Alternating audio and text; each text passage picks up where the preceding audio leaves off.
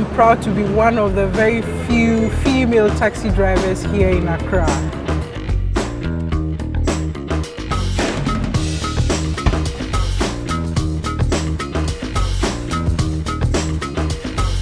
Welcome to Drive Along with Miss Taxi.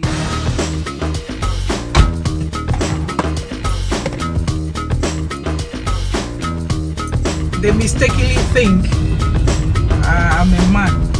They flag me down, I stop, and then they see earrings, and then they see boobs, and they are like shocked. they become speechless, and they giggle. They're in a state of confusion, excitement, confusion all together. you should see them.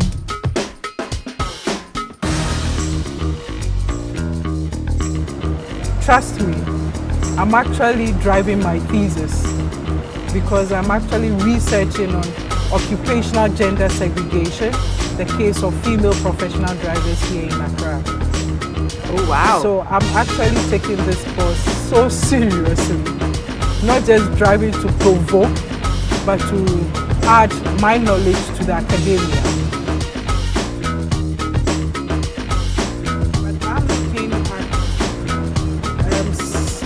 Sort of a female-driven taxi service